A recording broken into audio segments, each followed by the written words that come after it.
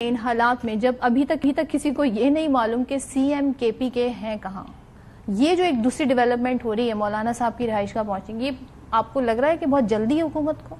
देखिए ये ये वही बात है जिसके हवाले से मौलाना ने भी पहले ज़िक्र किया था कि आपको तरमीम की इतनी क्या जल्दी है। हम्म। आप एस सी ओ का इजलास होने दें तरमीम को आगे ले जाएँ ये मामला हम डिस्कस करके आगे जो है फिर इसको हल कर सकते हैं। दूसरा जो आपने सीएम खैबर पख्तनख्वा के हवाले से कहा ये इंतहाई परेशान कन है? माजी में आपको याद होगा जिस वक्त इमरान खान साहब की हुकूमत के खिलाफ तहरीक अदम अतमाद आ रही थी तो कुछ एम एन ए हजरात सिंध हाउस में जाके बैठ गए थे। हम्म। और सिंध हाउस के बाहर एक छोटा सा कोई एहतजाज हुआ था तो उसको सूबाई खुद मुख्तारी के ऊपर हमला करार दिया गया था कि सिंध हाउस के गेट को आपने धक्के क्यों दिए हम्म। कल जो खैबर पख्तूनख्वा हाउस के साथ हुआ है जो शहबाज शरीफ साहब की और बिलावल साहब की हुकूमत ने किया है हम्म। उसकी कोई नजीर नहीं मिलती अब आप खुद बता दें क्या ये वो विजन है सुबाई खुद मुख्तारी का जो बिलावल साहब के जहन में है या जमहूरियत का विजन है जो बिलावल साहब के जहन में है तो इंतहाई अनफॉर्चुनेट है कि एक तरफ़ एक सूबे का चीफ एग्जेक्टिव गायब है दूसरी तरफ़ जो है ये तरमीम की बातें कर रहे हैं। आगे से एससीओ का समिट भी है तो मेरे ख्याल में हुकूमत को देखना पड़ेगा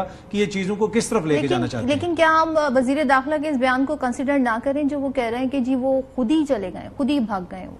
देखिए आपके दारुल हुकूमत से एक सूबे का चीफ एग्जेक्टिव गायब हो गया अब आप खुद सोचें कि इस तरह के बयान से जो दुनिया भर में हम इन्वेस्टर्स को बुला रहे हैं, इस वक्त दुनिया में आप कहीं पे भी बैठे हो, आप खुद को कितना महफूज समझेंगे पाकिस्तान जाने के हवाले से, जब ये पता चले कि एक सूबे का चीफ मिनिस्टर गायब हो गया है। तमाम टीवी चैनल्स ने खबर चलाई कि अली अमीन को गिरफ़्तार कर लिया गया है के पी हाउस से।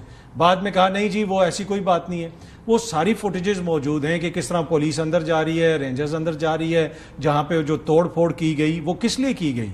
तो सबको पता है कि क्या हुआ। तो अब ये हुकूमत की ज़िम्मेदारी है कि इस मामले को जरा संजीदगी से लें। ये मामला किसी एक सियासी जमात का नहीं है। हम्म। इस वक्त जो आपने मामला ये तो कंप्लीट आपने एक बनाना रिपब्लिक बना दिया कि आप कह रहे हैं कि ना आइन है ना कानून है सूबे के चीफ एग्जेक्टिव को हम उठा लेंगे। आप सोचें अगर मुराज अली शाह की गाड़ी को यहाँ पर कोई चलान कर देता तो इस वक्त सिंध के अंदर जो है वो सुबाई खुद मुख्तारी वालों ने सड़कों पर निकल आना था। उनकी तो सुबाई खुद मुख्तारी के उन्होंने कहा था, ये हो कैसे सकता है कि सिंध के चीफ मिनिस्टर का इस्लामाबाद में चालान हो जाए? और वही जो हुकूमत है बिलावल की और शहबाज शरीफ साहब की, वो खैबर पख्तूनख्वा के वजी अला के साथ क्या कर रही है के पी हाउस के साथ क्या कर रही है तो इनको खुद अपने रवैयों के ऊपर नजरसानी करने की ज़रूरत है।